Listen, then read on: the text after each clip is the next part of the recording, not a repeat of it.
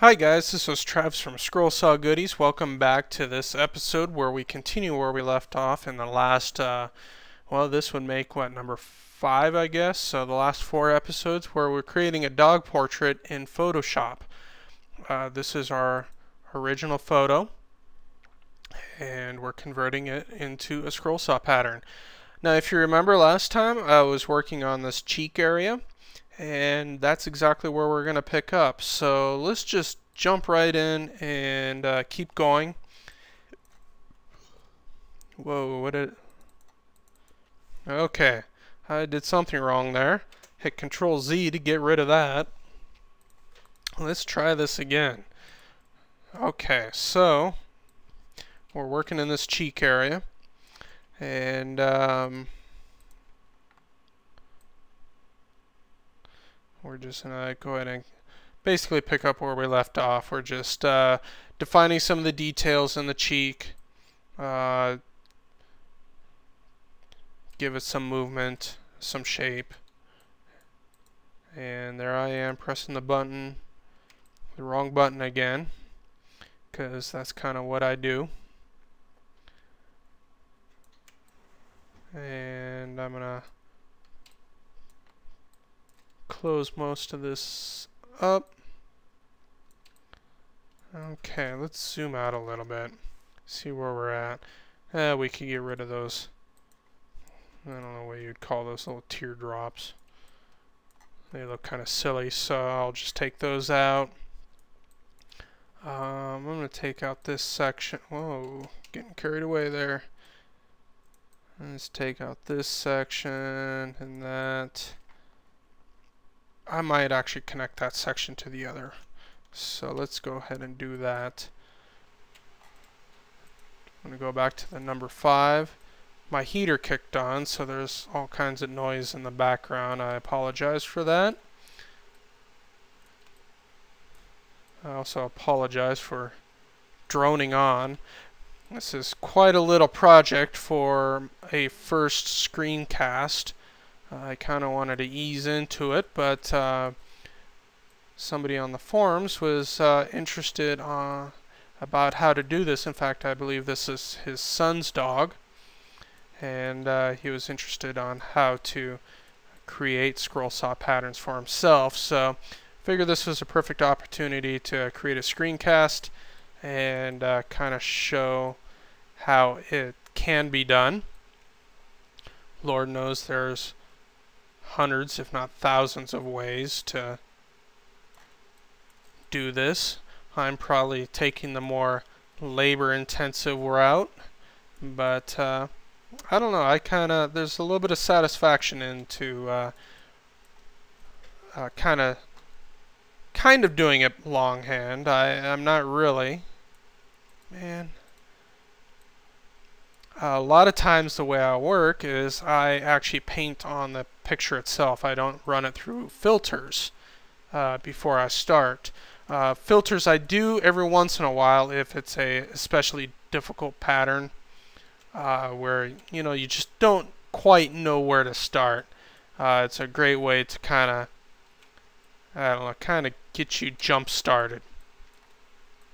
But typically I'll just take a picture and create a layer above that and uh, just start painting in and uh, see what I end up coming up with. Sometimes it turns out great, other times uh, not so good, but uh, for the most part I'm pretty happy with the way my uh, patterns turn out. Uh, it's definitely something I enjoy. people might have different tastes for their patterns which is fine. Different strokes to move the world, I guess. Whoops. Let's go ahead and zoom out.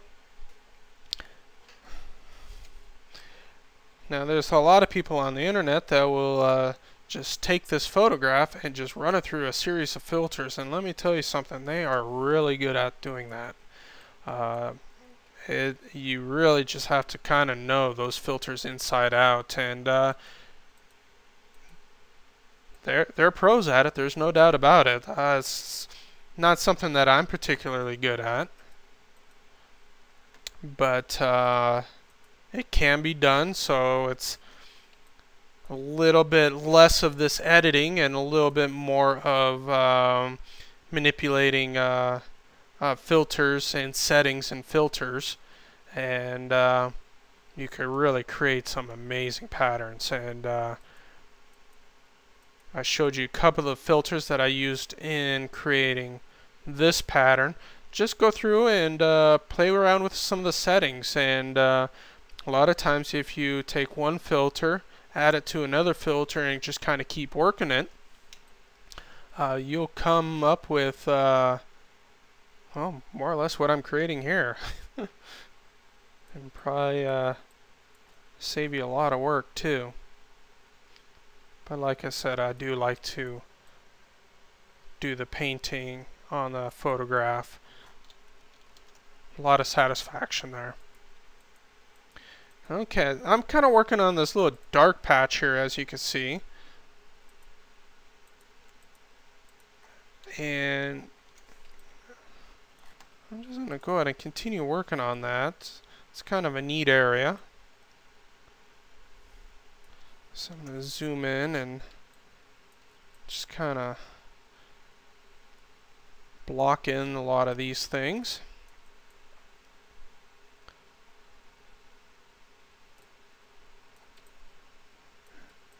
And it kind of comes in through here.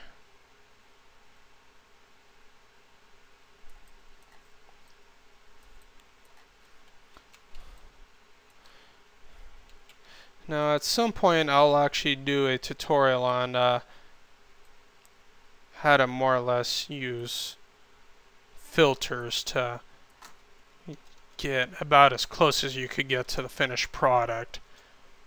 Um,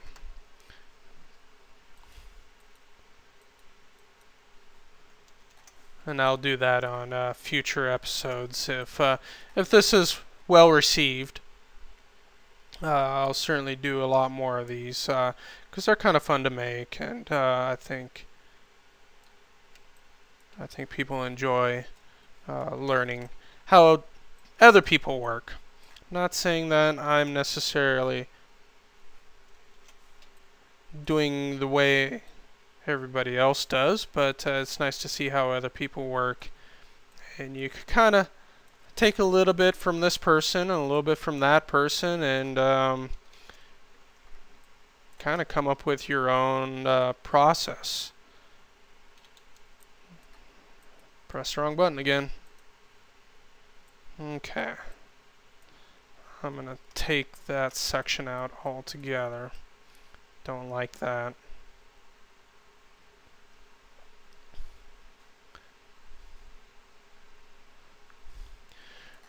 Now one thing I have noticed while recording these screencasts is that they uh, I'm probably recording a little bit more than I should at any one setting and it seems like the video and the audio are drifting a bit. I'm hoping I could fix that but the program that I use to do uh, the screen capture while it's a great screen capture, it's a lousy editor. And I don't know what it is about the way they capture, but uh, they also compress all of their video in such a way that it's very difficult to put into a different editor.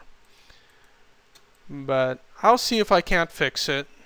If not, there might be a little bit of um, drift in the audio. Basically meaning that uh, what you're seeing on screen and what I'm saying might not match up exactly. It might be off by a few seconds.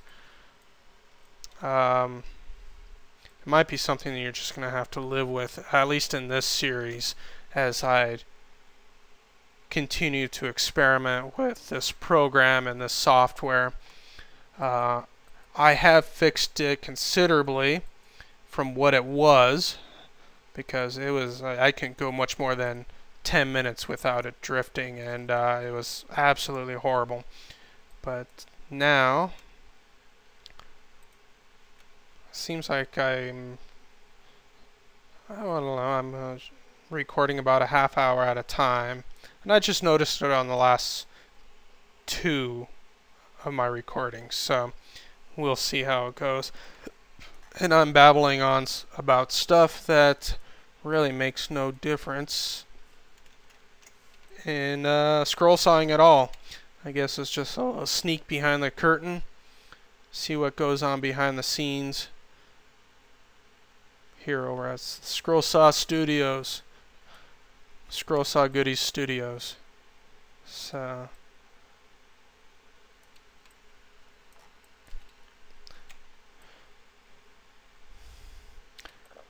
And again, I would also uh, I would also like to get some feedback uh, from uh, from those of you who have watched this and uh, give me the good, bad, and the ugly. I know it's a little long-winded and uh, is kind of a complicated pattern. Uh, a lot of times you could get a lot of patterns won't be this labor intensive. Um, this one really how much work needs to be done to a pattern is really kind of uh, directly I don't know, uh, controlled by how good the photograph is originally. If it's a good photograph, uh, the computer will be able to run it through filters a lot easier and get a little bit closer to your finish mark than if it was uh, just a standard snapshot uh, without real good lighting or where you're going to have to take a lot of uh, creative liberties with the pattern. Now I'm just kind of going in there and I'm just kind of throwing in blocks of color. And I figured maybe we'll just try to complete this section here. Maybe we could get that taken care of and off of our plate.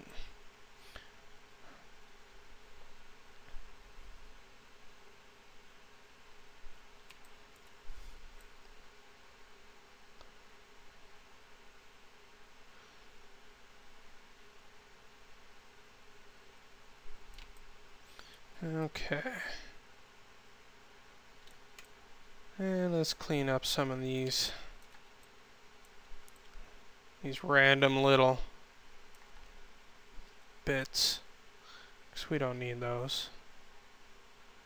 Let's take this all the way to the edge.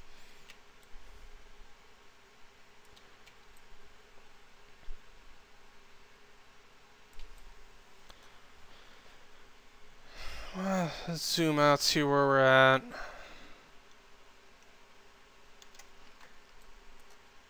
Let's kind of darken up. Let's bring that down.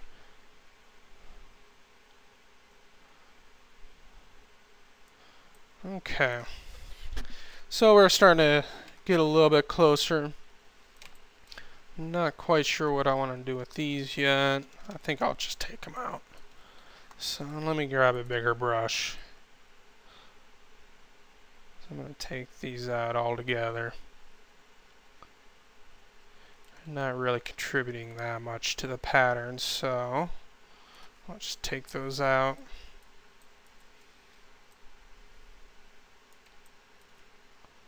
Okay.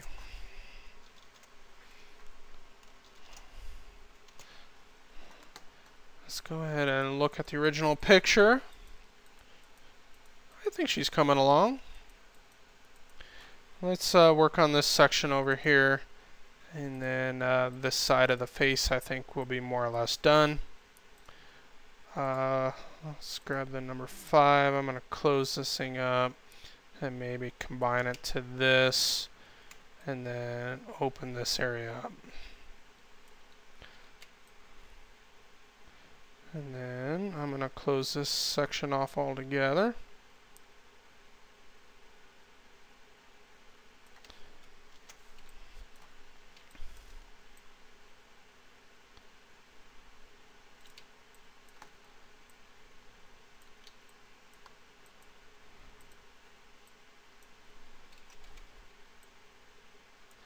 Okay, let's go ahead and take a look at the original. Kind of pop back and forth. You know what? Let's finish the collar. Because this is kind of fun over here. You can kind of see um, a lot of the fur kind of covering up the collar and that's kind of kind of interesting so let's go ahead and well, just create fur I suppose huh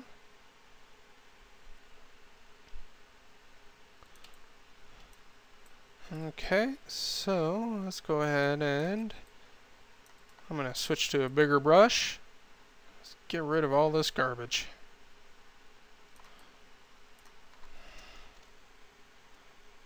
Uh, we might keep that there, because... We might keep that there. I think I'm going to work on that here in a bit. So... Keep pressing the wrong button. Why do they have to put the X and the S so close together? Okay, let's... Uh, I'm to do the dot to dot once again, because I want kind of nice tight control over my lines. So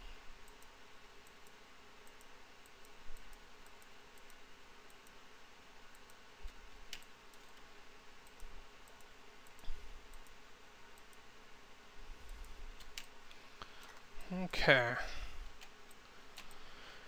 Now this section here I'm going to just take a little bit of liberty here and I'm going to create some little shadows. I'm going to use the dot to dot type thing again.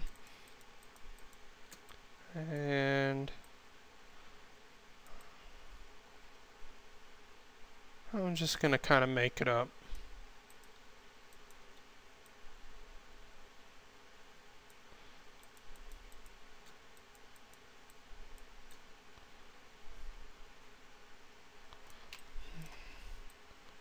Okay. Let's go ahead and clean all this extra garbage up.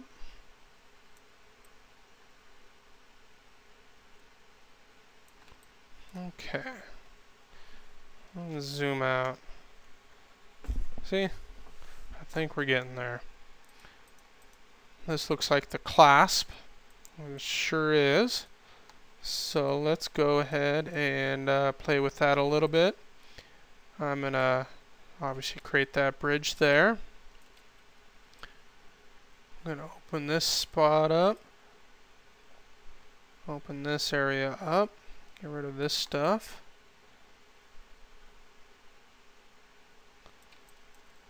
And let's see what we got here. I'm going to go ahead and continue down like this.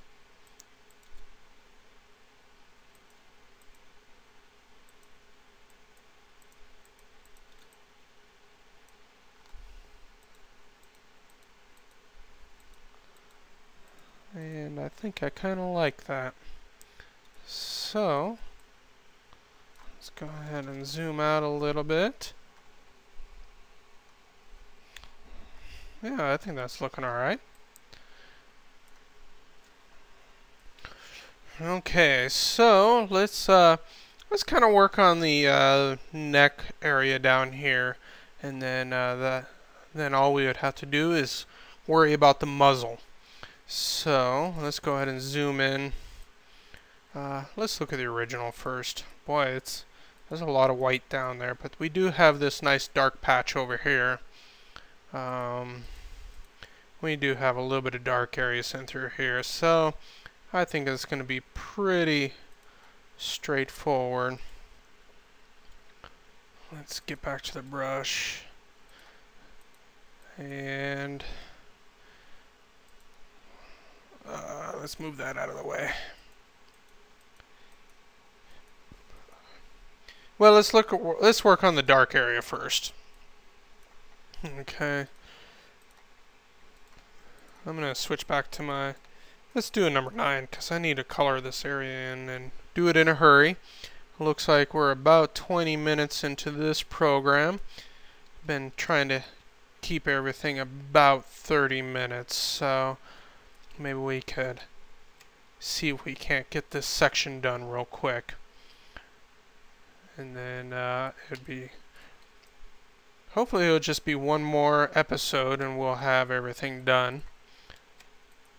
Because let's face it, this is an awfully long screencast.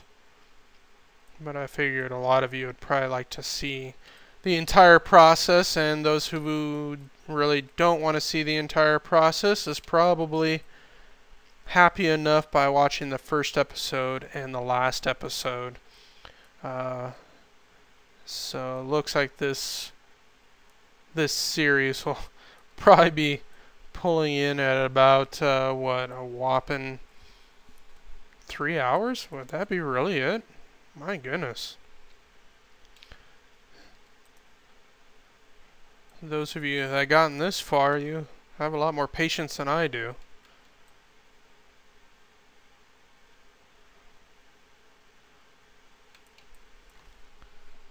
Okay.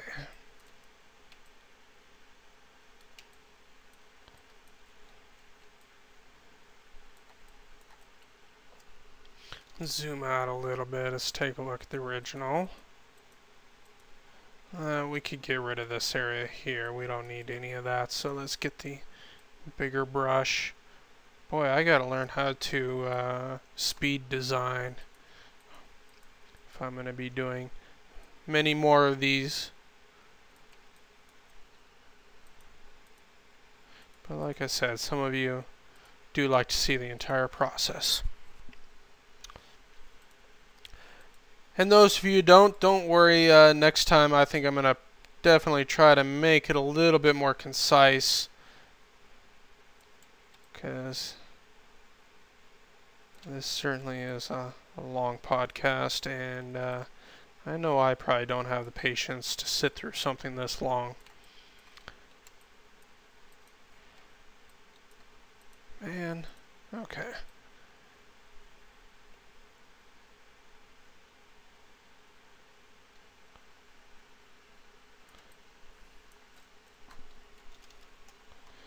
Okay, now I'm going to try to figure out, well, let's work on this bottom area here. So,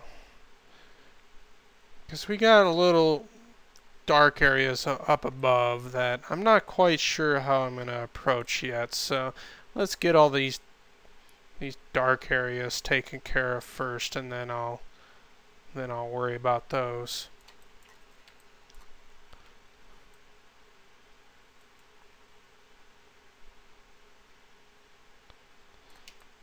Okay.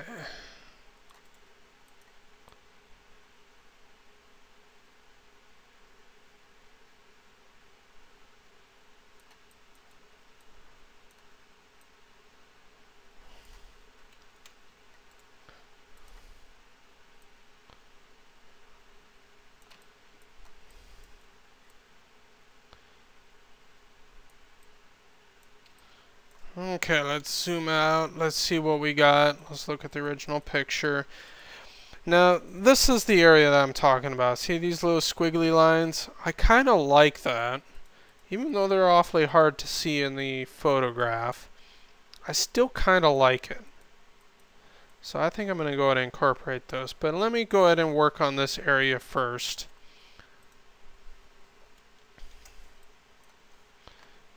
Let's go ahead and get this area taken care of. Let's go ahead and bring that in.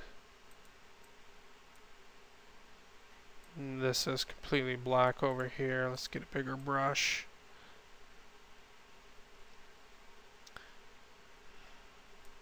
And then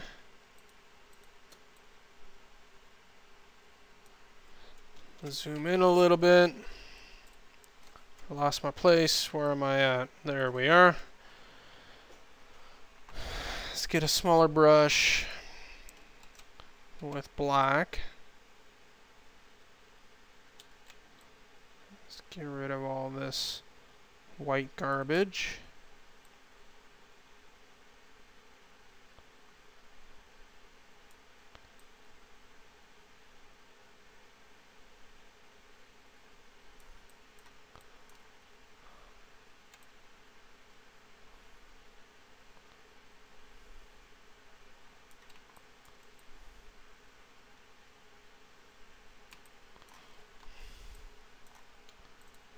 Okay, so in this area here, I'm just going to kind of follow the contour a little bit to kind of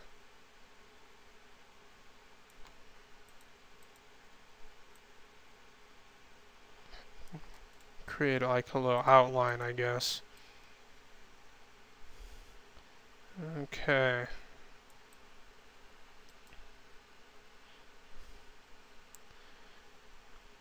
You know what I should do? I should actually design a portrait, go through the entire process like I'm doing here, and time compress it so you can see three hours of work come together in what, five, ten minutes? I don't know how much you would actually learn from something like that. But it certainly would be fun to see. Okay, what am I doing here? Don't want to really leave that guy out floating in the middle of nowhere. Like I said, I don't like to... The least amount of holes I have to thread my blade through, the better. So we'll just kind of hint toward it like that. Okay, this section here. This is a little fuzzy section. Um, I'm just going to start going with it and just cleaning it up and connecting things and I'm just going to see how she looks and whether or not I like it. Um, I have a feeling that I will though. So we're just kind of just following it along and uh, take us where the computer thinks that we need to be. Just clean up some of these gray areas, crispen up our lines.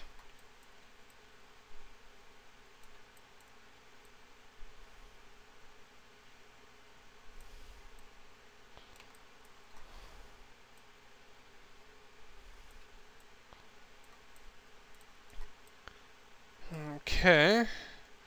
Um, this thing we don't need. That's just going to be floating out in the middle of nowhere.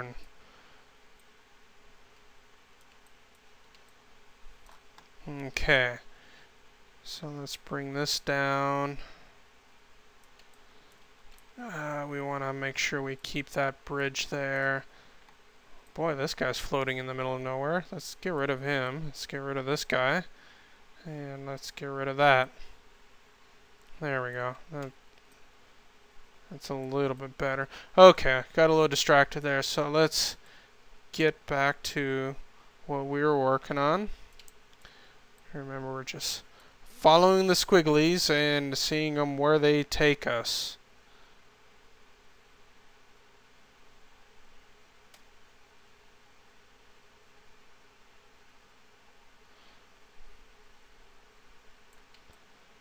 Okay. Question is, how does this connect? Eh, right there. So let's switch over to white, get rid of this other garbage.